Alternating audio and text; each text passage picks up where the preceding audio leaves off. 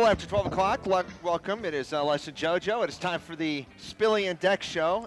Well, at first they came and they said, uh, "You would you like to host your own show, you and you and Spilly, and it would be called the uh, Spilly and Dex show." And I was like, "Nah, I don't think I could do that. It's gonna have to be the Dex and Spilly show."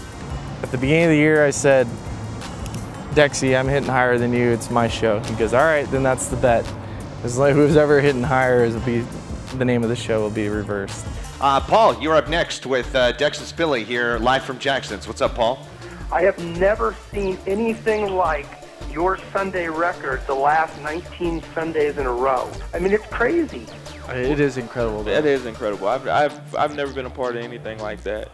I mean, we, Like we win we win half of those. You're one game under 500. It's been a really quiet clubhouse over the last couple of months, hasn't It's it? been a little morbid. Ours is a little different in that you know you have two major league players talking about baseball in real time with guys that are actually on the team. So, you know, when we have a losing streak, we come in here and we what's going on in the clubhouse. You get to hear it from us. Especially when the, you guys couldn't turn the music on. Yeah. that Oh, was a oh, very I mean- awkward thing to walk Hey. in there and not hear it all bumping and banging, and you guys all kind of doing this as you're at your locker. No, no, no. Giambi, you weren't there. Giambi in, in St. Louis, when we got the music turned back on, he, he said he went into Trace's office. He was like, "Can we come out of jail yet?" I mean, his his music choice is the same every day. It's Madonna. You Yeah. know, like- No. Yeah. What?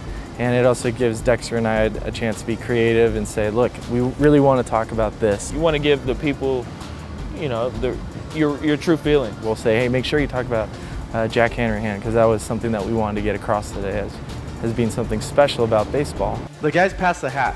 Yeah, he, it he, wa- he was getting get his wife is His wife pregnant. is pregnant, and he was going to miss the birth of his child unless he flew private. He couldn't get a commercial flight to get him uh, out of town in time to see the birth of his child. Right, and the child was premature a couple months, so it was it was Oh, like wow. an emergency type thing. He was like, well, we can't afford it. Jack can't afford it. He makes, you know, he doesn't make as much as everyone else. The Dex and Spilly show, I would say, would be like a potpourri of sports talk. You know, I just like talking. I like talking to people and and just being in in the light and having fun.